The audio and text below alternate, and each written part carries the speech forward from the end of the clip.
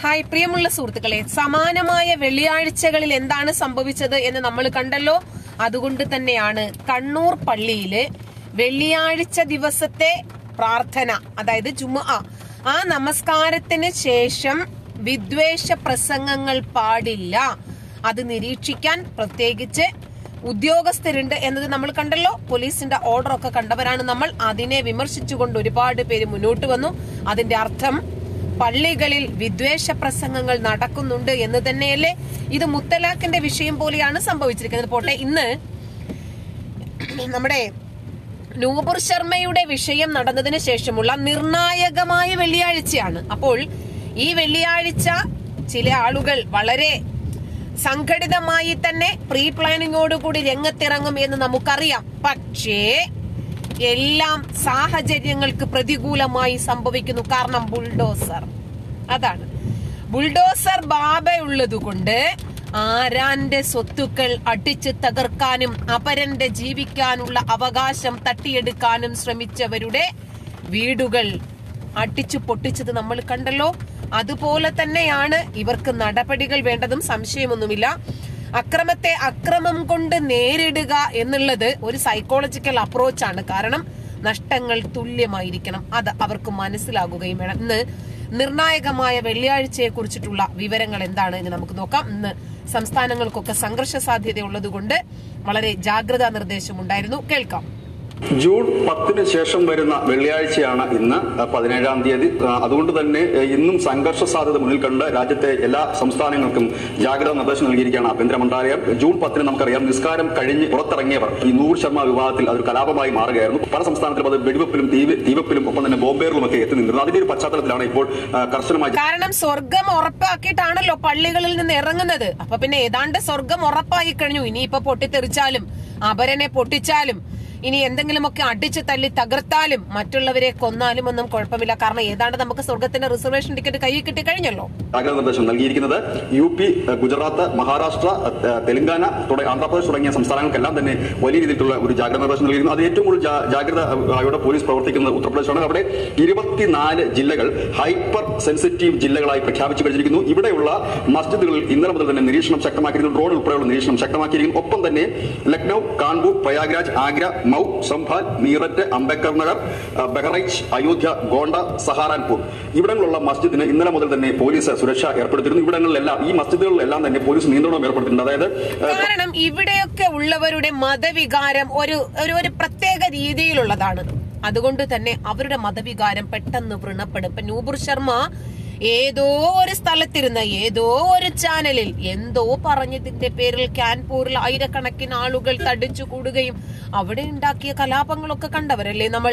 അതുകൊണ്ട് ഇവർക്ക് കലാപത്തിന് പ്രത്യേകിച്ച് കാരണങ്ങളൊന്നും വേണ്ട. എന്തിനാ നിങ്ങൾ അവരെ ഇവരെയൊക്കെ അടിച്ചു കൊള്ളുന്നത് ചുമ്മാ ഒരു രസം. പ്രാർത്ഥന കഴിഞ്ഞ് പുറത്തിറങ്ങുന്നവർ കൂട്ടം കൂടാൻ പാടില്ല. അവർക്ക് വീട്ടിലേക്ക് മടങ്ങാവുന്നതാണ്. കാരണം കൂട്ടം കൂടാൻ പാടില്ല എന്നൊരു ആക്ട് നൂറ്റി നാൽപ്പത്തിനാല് ഇവിടെ പ്രഖ്യാപിച്ചു കഴിഞ്ഞിട്ടുണ്ട്. പ്രാർത്ഥനയ്ക്കായി എത്തുന്നവർക്ക് പ്രാർത്ഥനയ്ക്ക് ശേഷം റോഡിൽ കൂട്ടം കൂടി നിൽക്കുകയോ ഇല്ലെങ്കിൽ സംഘടിച്ച് പ്രകടനം നടത്താൻ ശ്രമിക്കുകയോ ചെയ്യരുതെന്ന് പോലീസ് മുന്നറിയിപ്പ് നൽകിയിട്ടുണ്ട്. കൂടാതെ വിവിധ മസ്ജിദ് കമ്മിറ്റികളുമായും ഒപ്പം തന്നെ മതപണ്ഡിതന്മാരും ഒക്കെയായി പോലീസ് ചർച്ചകൾ പലവട്ടം നടത്തി കഴിഞ്ഞിരിക്കുന്നു. സമാധാനപരമായി കാര്യങ്ങൾ മുമ്പോട്ട് പോകാനുള്ള ചർച്ചകൾ നടത്തി കഴിഞ്ഞിരിക്കുന്നു. ഏതായാലും ഡ്രോൺ ഉൾപ്പെടെയുള്ള നിരീക്ഷണ സംവിധാനം നടത്തിയിരിക്കും ഖൊരക്പൂർ ജില്ലയിൽ യു പിയിലെ ഖൊരക്പൂർ ജില്ല ആ ഖൊരക്പൂർ ജില്ലയിൽ പോലീസ് ഫ്ളാഗ് മാർച്ച് ഇന്നലെ നടത്തിയിരുന്നു. അക്രമം കണ്ടാൽ വെച്ച് കുറിപ്പിക്കും പണ്ടത്തെ പോലെയുള്ള ഈ പേടിപ്പിക്കലും ഊച്ചാളി രാഷ്ട്രീയവും മതവൈരവും ഒന്നും ഇനി നടക്കില്ല എന്ന് ചുരുക്കം പണ്ടത്തെ പോലെ എന്തെങ്കിലും മിണ്ടുന്നതിന് മുമ്പ് കരിയോയിൽ പ്രയോഗവും അടിച്ചു നിരത്തലും തീ കത്തിക്കലും കൊള്ളയും കൊലയും ബോംബ് പൊട്ടിക്കലും ഒക്കെ ഉണ്ടല്ലോ.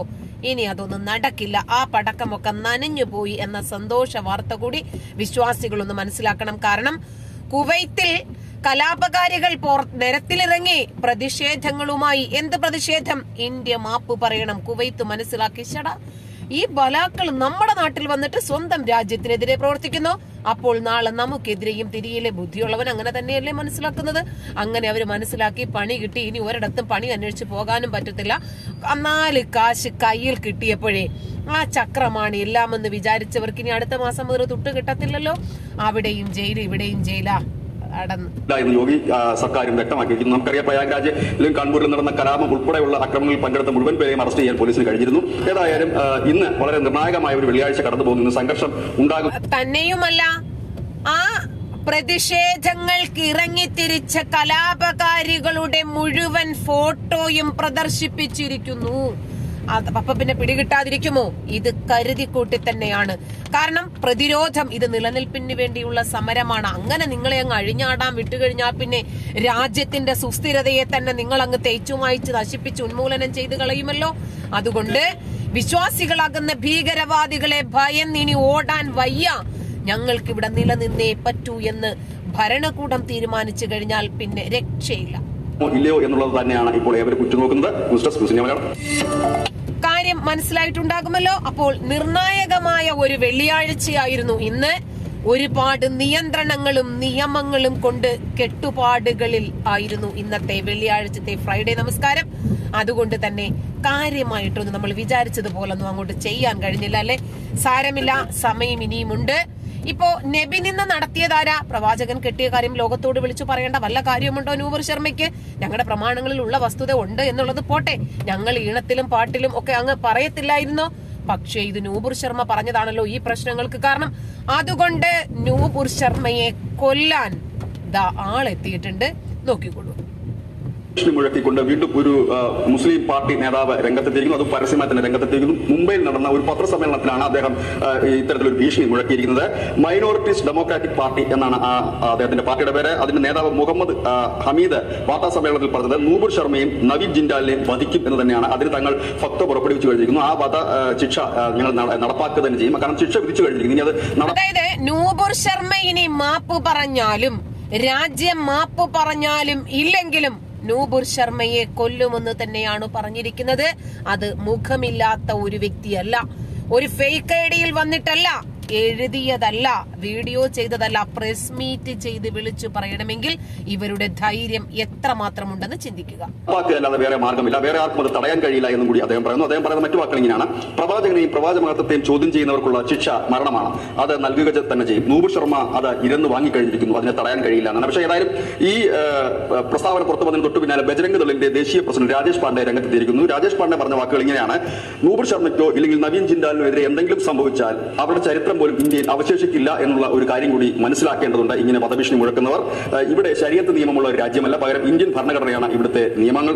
അതുകൊണ്ട് തന്നെ ഇത്തരത്തിലുള്ള വധഭീഷണികൾ കൊണ്ട് ഇല്ലെങ്കിൽ ഇത്തരത്തിലുള്ള ഭീഷണികളുണ്ട് ആരെങ്കിലും വരുതിയിലാക്കാം ഇല്ലെങ്കിൽ ഇവിടുത്തെ ഹിന്ദുക്കളെ വരുതിയിലാക്കാമെന്ന് ആരെങ്കിലും വ്യാമോഹിക്കുന്നുണ്ടെങ്കിൽ അത് വെറും വ്യാമോഹം മാത്രമാണ് എന്ന് ബജരംഗ് ദളിന്റെ നേതാവ് രാജേഷ് പാണ്ഡെ പറഞ്ഞിരുന്നു ഏതായാലും ബജരംഗ് ദൾ പരസ്യമായിട്ട് തന്നെ ഇത്തരമുള്ള വധഭീഷണികൾക്കെതിരെ രംഗത്ത് വരുന്ന ആദ്യമാണ് ഈ നൂപുർ ശർമ്മ വിവാദം ഉണ്ടായതിനു ശേഷം ആദ്യമായിട്ടാണ് നൂപുർ ശർമ്മയെ കൊല്ലാൻ ഇങ്ങനെ ഇവരങ്ങ് ഉത്തരവിറക്കുമ്പോൾ വധഭീഷണി മുഴക്കുമ്പോഴേക്ക് നൂപുർ ശർമ്മയെ കൊണ്ടുപോയി അവരുടെ മുമ്പിൽ നിർത്തി കൊടുക്കുമെന്ന് വിചാരിച്ചോ? അതോ നമ്മുടെ ജോസഫ് മാഷിന്റെ കൈവെട്ടിയപ്പോൾ ക്രിസ്ത്യൻ സഭയും ഗവൺമെന്റും ഒക്കെ അദ്ദേഹത്തെ നിസ്സഹായനായി ഇവർക്ക് ഇവർക്ക് വിട്ടുകൊടുത്തിട്ട് വേട്ടക്കാർക്ക് വഴി വെട്ടിക്കൊടുത്തതുപോലെ ആകുമെന്ന് വിചാരിച്ചോ? നടക്കില്ല. ഇനിയും ഒരു കൊലപാതകം നിങ്ങൾ നടത്തണമെങ്കിൽ ഇത്തിരി പുളിക്കും. ഒരു മറുപടിയുമായി രംഗത്തെത്തുന്നത് എന്നുള്ളതും ശ്രദ്ധേയമാണ്. ഏതായാലും ഇപ്പോഴും നൂർ ശർമ്മയ്ക്ക് അല്ലെങ്കിൽ ഈ നവീൻ ജിൻഡാലിനെതിരെയുള്ള വധഭീഷണികൾ നിലനിൽക്കുന്നുണ്ട്. ഇതിന്റെ പശ്ചാത്തലത്തിൽ വിശ്വഹിന്ദു പരിഷത്ത് കഴിഞ്ഞ ദിവസം രാജ്യവ്യാപകമായി അവരുടെ പ്രതിഷേധത്തിന് തുടക്കം കുറിച്ചിരുന്നു. അന്ന് വിശ്വഹിന്ദു പരിഷത്ത് പറഞ്ഞു ഇനിയും നിങ്ങളുടെ ഈ പ്രതിഷേധങ്ങളും കൊലവിളികളും തെറിവിളികളും ഭീഷണികളും ഒന്നും വില പോകില്ല എന്നെങ്കിലും അറ്റ്ലീസ്റ്റ് ഒന്ന് മനസ്സിലാക്കുക. പ്രതിരോധത്തിന് പ്രതിരോധം തന്നെയാണ് നടപടി എന്ന് മനസ്സിലാക്കുക. നന്ദി.